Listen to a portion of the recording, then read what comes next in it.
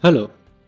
In this video I will show you how to export a front view of a single cabinet with dimensions to the 2D CAD.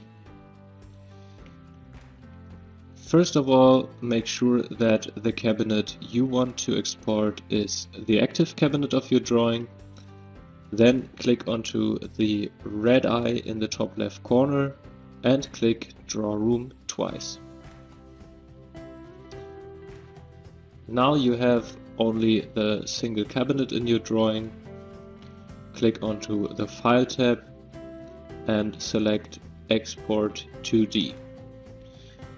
If you want to export the dimensions, activate the checkbox Dimensions and click Front View here.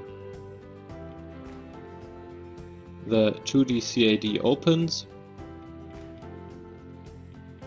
and you have a front view of your cabinet with dimensions.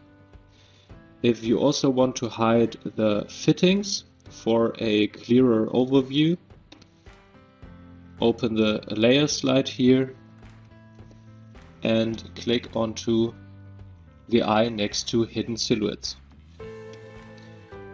By that you get a transparent front view with dimensions that you can print for um, workshop drawings. Thank you for watching.